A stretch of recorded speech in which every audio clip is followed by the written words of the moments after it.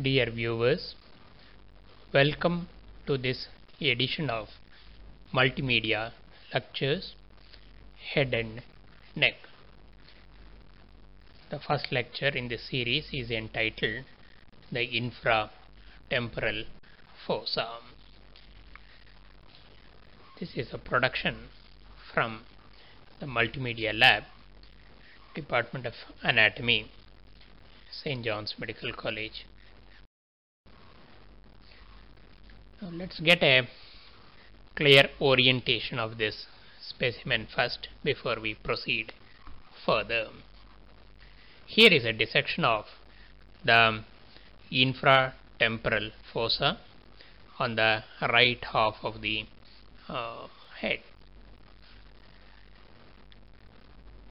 Orientation is quite easy. You can see very clearly that's the scalp region. In front there is the eye. Behind there is the ear. And lower down, watch carefully, there is a uh, mandible from which the um, ramus has been uh, cut off. This is to uh, enable the better view of the structures deep to 8. That's the orientation of the specimen. We will now proceed uh, on uh, uh, a discussion of this window dissection. We will take a look at the bony walls of this infratemporal fossa. So instead of the specimen I have now used a, dry skull so that the bony walls are better visible. More or less the same thing applies to the gross anatomy specimen but it is these structures are better appreciated in a bony uh, skull. Anteriorly is the posterior surface of the body of the maxilla that is the anterior wall. Traced superiorly um, you will uh, reach the orbit. There is the infraorbital uh, groove that is a upper continuation. Traced more medially or more deeply the pterygomaxillary fissure is there. Posteriorly you can see that small flashing there. That's the styloid process of the temporal bone. Laterally seen very prominently plus the animation here shows the lateral wall ramus of the mandible. In the previous uh, photograph this part was the part that was uh, cut off.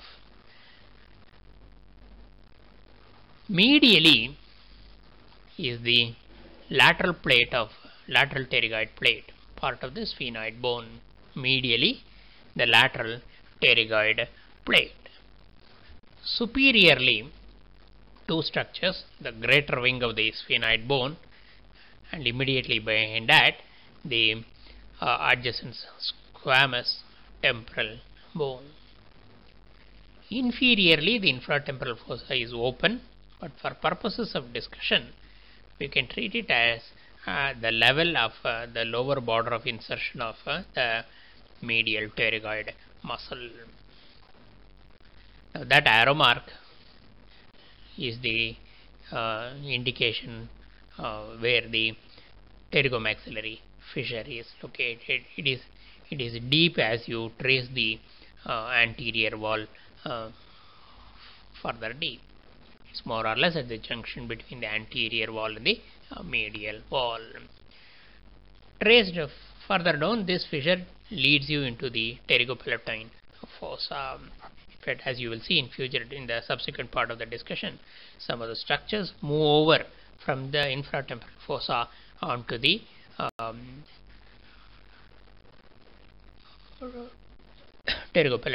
fossa.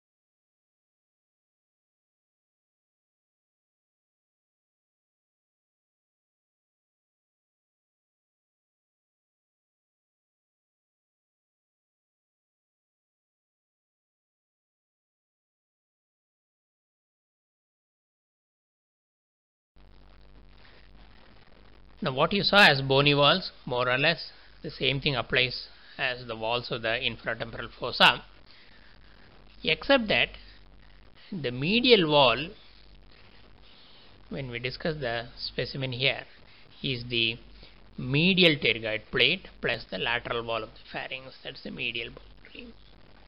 As otherwise the rest of the points we mentioned for the bony wall more or less holds good. This fossa communicates with the, as I mentioned earlier, with the pterygopalatine fossa through the pterygomaxillary fissure. There is a zygomatic arch deep to which is a communication with the temporal fossa and uh, also superiorly there is an inferior orbital fissure through which it communicates with the orbit. Now let's uh, survey the contents and discuss the relevant uh, anatomical features. So the first structure to identify is the temporalis muscle. See the number flashing on the surface of the muscle. Next is the lateral pterygoid muscle. Subsequent to that, here is the medial pterygoid flashing number 3 and finally the masseter muscle which is entirely reflected down once again to enable visibility of deeper structures. These four are collectively the muscles of mastication. Note particularly the muscle that is left out here is the buccinator. It is, it is not considered a muscle of mastication. Students generally make a mistake. It is not included in the list uh, under the heading muscle of mastication. Let's um, take a look at uh, uh, a little discussion on each of these uh, muscles. You see, the ramus of the mandible was removed. Now we have digitally put it back in place. This is to enable the attachments of the temporalis muscle to be demonstrated. You see, that muscle there flashing is the temporalis muscle. It inserts into the coronoid process uh, of the mandible. Now we have removed that.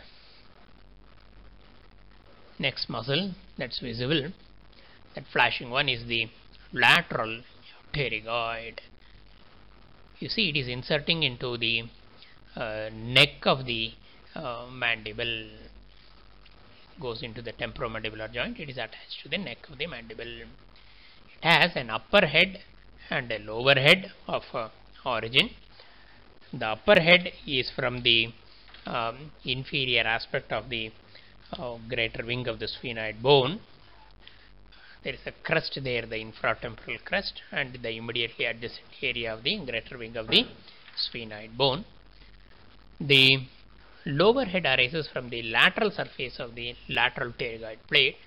The two heads join to reach the uh, neck of the mandible that's the lateral pterygoid the next one medial pterygoid that we will cover a little later because uh, we will finish the masseter before that to discuss the masseter we will now bring back the zygomatic arch remember it was removed during the dissection we have put back the zygomatic arch and because of the location of the zygomatic arch now we can demonstrate the um, masseter muscle.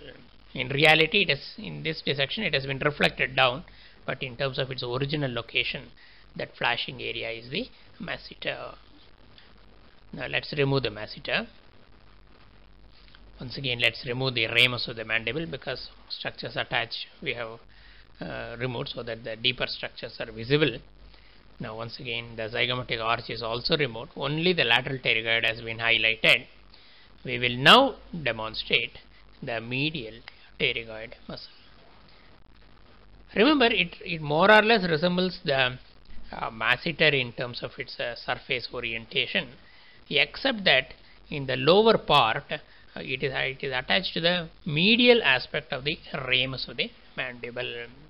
contrary to what is shown in the diagram here the attachment is on the medial aspect. We have removed the mm, ramus of the uh, mandible. So we are just uh, digitally trying to recreate its uh, location and attachment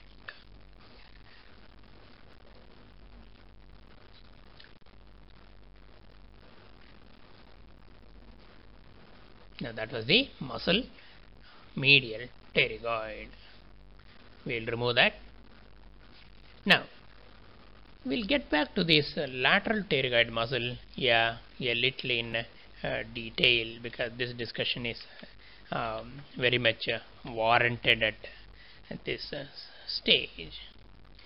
This muscle is a uh, key muscle in this uh, discussion as a result we will now have a look at the orientation of this muscle, how it is located, uh, where, um, what are its uh, uh, important relations.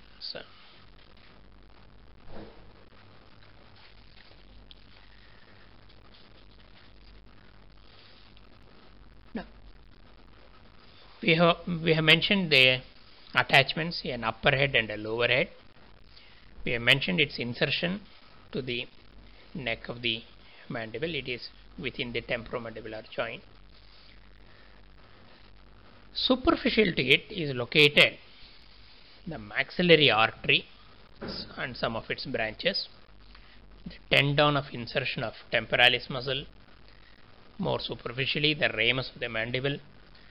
These are the structures immediately superficial to this muscle deep to the muscle the stem of the mandibular nerve, the two divisions of the mandibular nerve, the various branches from the mandibular nerve, all these are deep to it. In addition, the chorda tympani nerve, the middle meningeal artery, the sphenomandibular ligament, that's an important point, sphenomandibular ligament, and the upper part of the medial pterygoid muscle.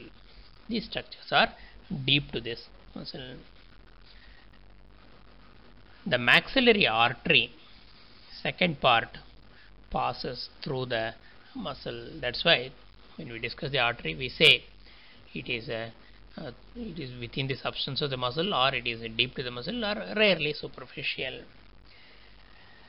The deep temporal nerve and the nerve to masseter pass through the uh, upper um, border of this muscle. Similarly, below the lower border of the muscle, you can see the emergence of the lingual nerve and the inferior alveolar nerve. Uh, not forgetting to mention the sphenomandibular ligament. Therefore, if you notice, this muscle holds a very key location.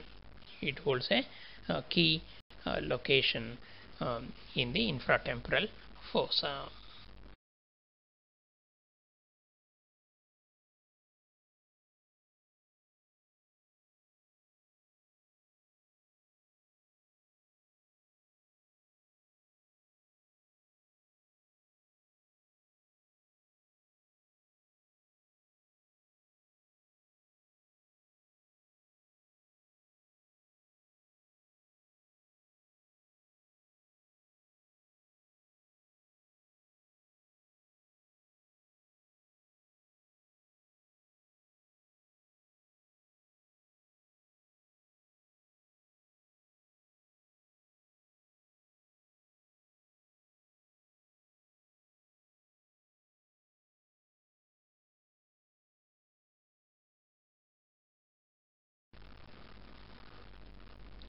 All these muscles that is the muscles of mastication are supplied by the mandibular nerve which is the nerve of the first arch.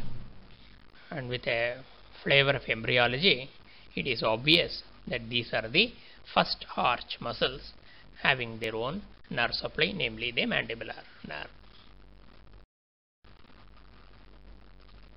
Now once again the diagram highlights the location of the lateral pterygoid muscle. Using this as the uh, landmark, we shall now proceed to identify um, yet another major structure in this area, the maxillary artery. This artery is the larger of the two terminal branches of the external carotid artery. Remember, the external carotid artery in the substance of the parotid gland divided into a maxillary and the superficial temporal artery. We shall continue the discussion from that stage. The maxillary artery commences posterior to the neck of the mandible. It is closely related to the lateral pterygoid muscle and because of this relation the artery itself is divided into three parts. That's the first part. I'll give you the details in due course. That's the first part. Second part either in the substance of the muscle or deep to the muscle and further forwards the third part that's the third part as it enters the pterygomaxillary fissure. Now let's look at examine the details. The first part is horizontal. It lies below the lateral pterygoid muscle. Repeat, it is horizontal, lies below the lateral pterygoid muscle. At this stage, it is deep to the neck of the mandible and superficial to the sphenomandibular ligament. Repeat, it is deep to the neck of the mandible and superficial to the sphenomandibular ligament. The second part is oblique in its course, runs superomedially across the muscle. I mentioned that it can be variable, it can even be deep to this muscle. The third part runs medially between the two heads of the muscle to the pterygopalatine fossa where it terminates uh, in that fossa.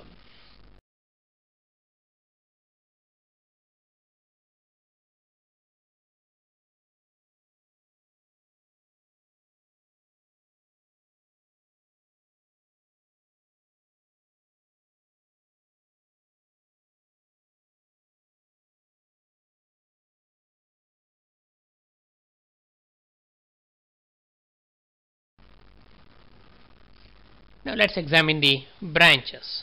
First part branches. So some interesting features in the first part. There are five branches, all of them are named branches. All of them proceed towards a, a foramina through which it exits out of the fossa. In other words, all the five branches of the first part run in osseous canals and all the five are specifically named. By the word specifically named we don't we don't have anything like uh, general muscular branches. That means every single branch has a specific name here in the first part. Let's try to digitally recreate because the dissection doesn't have all the structures uh, to show. So we have adopted digital recreation wherever there is such a deficiency. Like for example the deep auricular artery and the anterior tympanic artery. The deep auricular passes through the osseous wall of the external acoustic meatus, supplies the cartilaginous part of the external acoustic meatus and the immediately adjacent superficial surface of the tympanic membrane.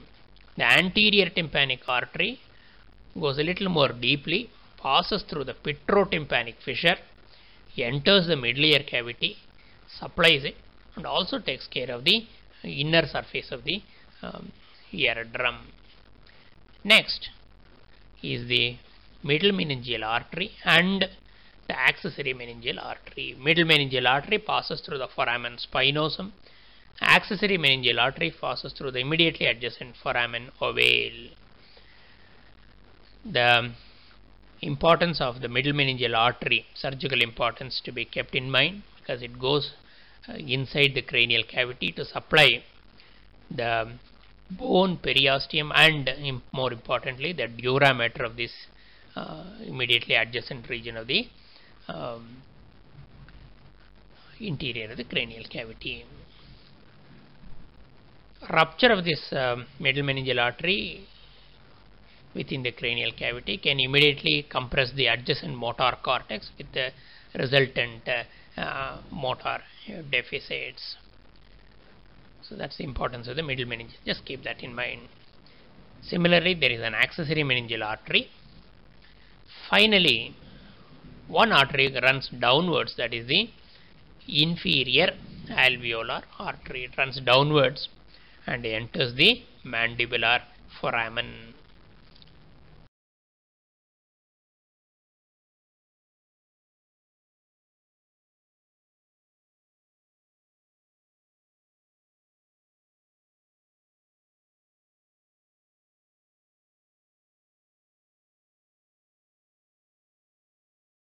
Next, in contrast, part 2 or the second part of the artery have no specifically named branches, they are general muscular branches. As a result, we can generalize and say there are branches called deep temporal branches, branches to the pterygoid muscles, branches to the um, masseter, and uh, maybe an artery um, which we could call it as the buccal artery. So these are the uh, generalized uh, branches. That means not very very specific, uh, but these these are the uh, terminologies we could use: deep temporal, pterygoid, masseteric branches, and finally the buccal artery, which goes towards the buccinator.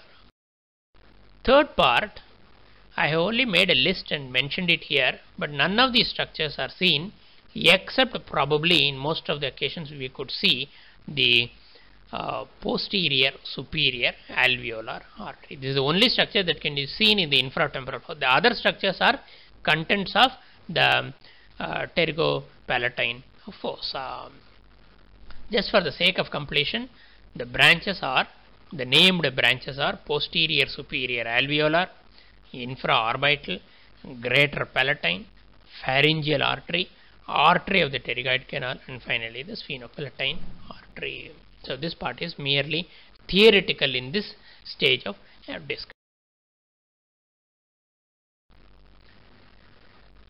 Next, let's move over to the nerves. The principal nerve of this space is the mandibular division of the trigeminal nerve, Man mandibular division of the fifth cranial nerve.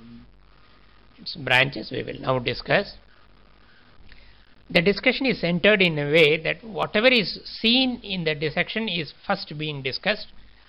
Later on what is not seen is digitally recreated and thereafter the uh, branching pattern is summarized. That's the temporal branch and that's the buccal branch.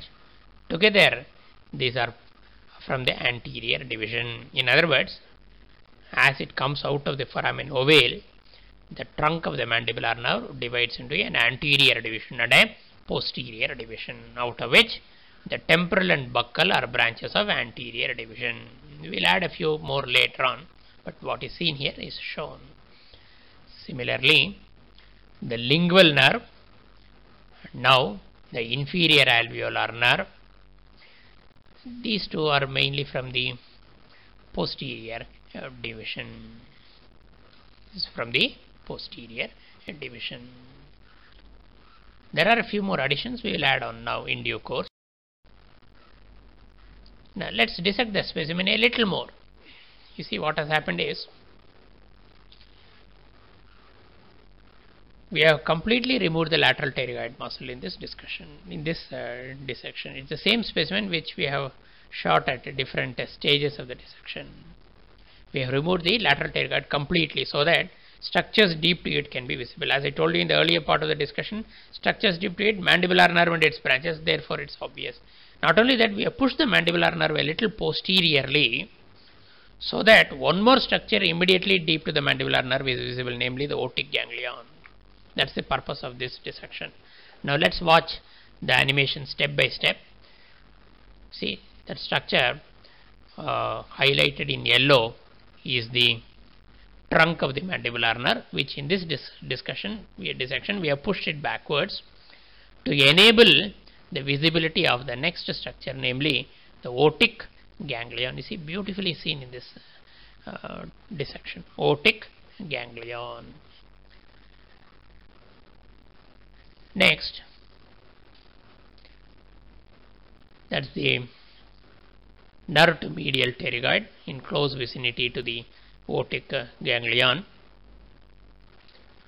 There is the middle meningeal artery. The purpose of showing this artery in a discussion which is predominantly nerve centered is using that as the anchor we shall now identify the two roots of the auriculotemporal nerve. That's the idea. By identifying the middle meningeal artery, it is easier for us to identify the two roots of the um, auriculotemporal nerve.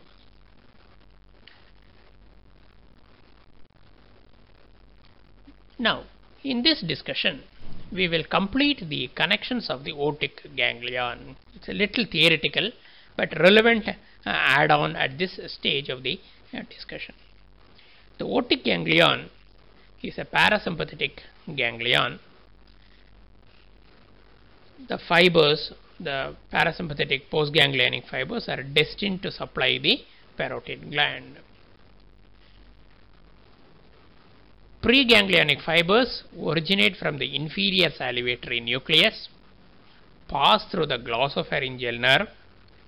From the glossopharyngeal nerve, there is a small tympanic branch which passes through the tympanic canaliculus in the base of skull.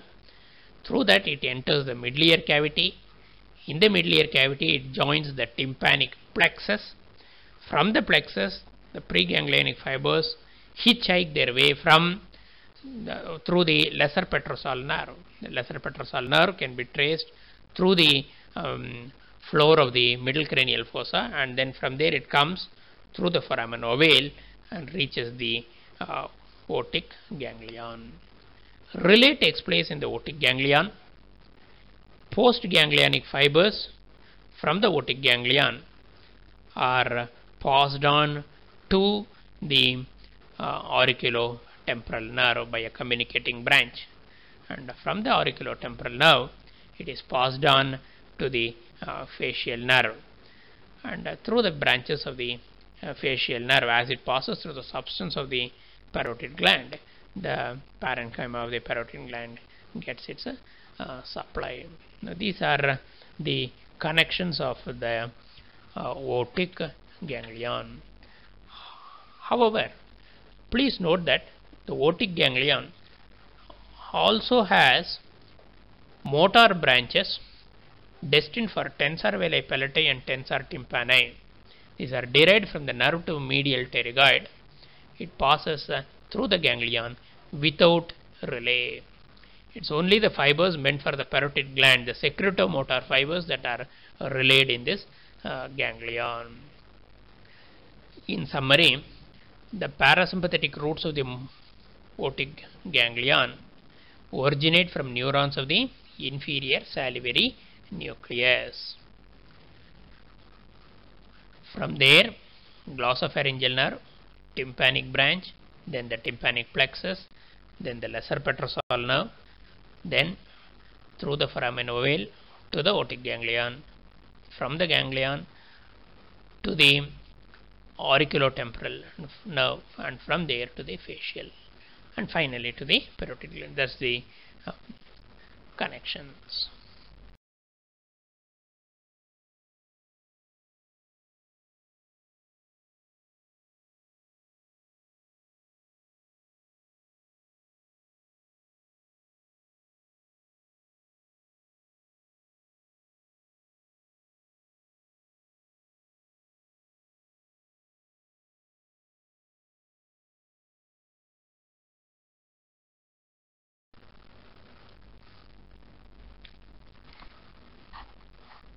Now watch watch uh, this uh, stage of the uh, dissection little more carefully.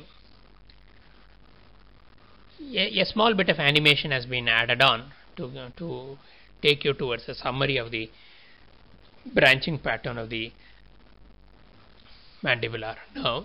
You can see that's the stem of the nerve, the buccal branch, temporal branch, lateral pterygoid branch to lateral. That's from the anterior division.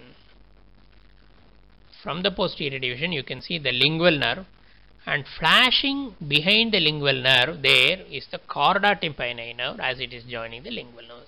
That is the purpose of this dissection to show that connection.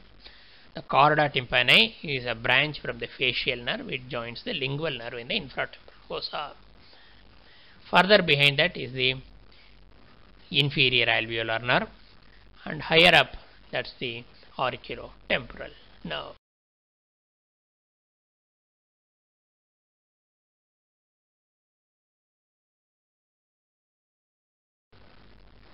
To summarize, branches from the stem of the mandibular nerve as it exits out of the foramen ovale, meningeal branch and nerve to medial pterygoid. Branches from the anterior trunk, buccal nerve, nerve to masseter, deep temporal and nerve to lateral pterygoid. All these branches, buccal nerve, nerve to masseter, deep temporal and nerve to lateral pterygoid. The buccal nerve is sensory, the other three are motor. Remember, buccinator gets its motor supply from the facial nerve, not the buccal nerve. Buccal nerve is sensory. It supplies an area, a postage stamp sized area overlaying the buccinator muscle. It also supplies a similar area on the inner aspect, that is a mucosal aspect of the buccinator muscle. Similarly, branches of the posterior trunk, auriculotemporal nerve, lingual nerve and uh, inferior alveolar Now Repeat, auriculotemporal, lingual and inferior alveolar Now That's in summary about the, this uh, important structure, mandibular nerve. Now take a look at this animation. Once again it has been digitally created. That's the pterygoid venous plexus. It is generally not depicted separately but this plexus is usually removed during routine uh, dissections. You will see number of venous channels. Now that area therefore has been digitally created.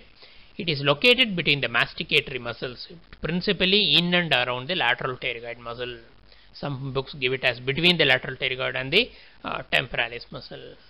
Ultimately, it is one of the content of this uh, space. The deep facial vein connects it with the facial vein. It communicates with the cavernous sinus through emissary veins that pass through foramen ovale or the foramen lacerum. And it also communicates with the uh, inferior ophthalmic vein through the inferior orbital fissure. So that's the importance of this uh, pterygoid venous plexus and its uh, communications.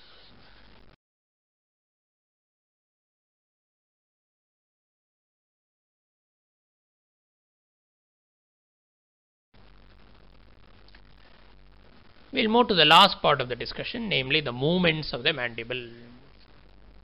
What are the movements possible at the temporomandibular joint? The joint where the movements takes place is the temporomandibular joint. We refer to them as movements of the mandible. Depression, namely the opening of the mouth. Elevation of the mandible as reflected in the closure of the mouth. Protrusion, that is forward movement of the mandible and retraction that is backward movement of the mandible and lastly chewing or grinding movements these are some of the movements uh, possible at the temporomandibular joint the muscles producing the movements are depression that is the mandible being lowered down the lateral pterygoid assisted by the digastric provided the hyoid bone is a fixed base elevation, the powerful masseter, the medial pterygoid and the anterior fibers of the temporalis muscle.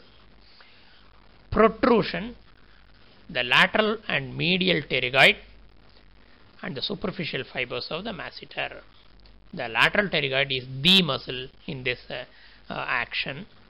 Retraction, posterior fibers of temporalis and the digastric if the hyoid is on a fixed base. Chewing and grinding movements, it is by alternating movements of the masticatory muscles of each side uh, the pterygoids, the temporalis, and the deep part of the mas masseter muscle, side side to side movements. So these are, uh, in a summary, the muscles uh, responsible for various um, actions of the temporomandibular joint. Summarizing the contents, muscles, namely the muscles of mastication, they are the contents, temporalis, medial and lateral pterygoid muscles, and one muscle which is not a member of this list of uh, masticatory muscle, namely the buccinator. Arteries, maxillary arteries and its branches, vein, pterygoid venous plexus and its uh, tributaries, nerves, terminal part of the uh, maxillary nerve as seen through the pterygomaxillary fissure and more important the whole of the mandibular nerve and its branches and very specifically the otic ganglion and its connections. Lastly the chorda tympani nerve and which is the branch of the facial nerve as it joins the lingual nerve. So these are in summary the contents of the uh, infratemporal fossa. That was a short discussion on the topic uh, the infratemporal fossa. Um, a production from the Multimedia Lab, Department of Anatomy, St. John's Medical College, Bangalore. Thank you.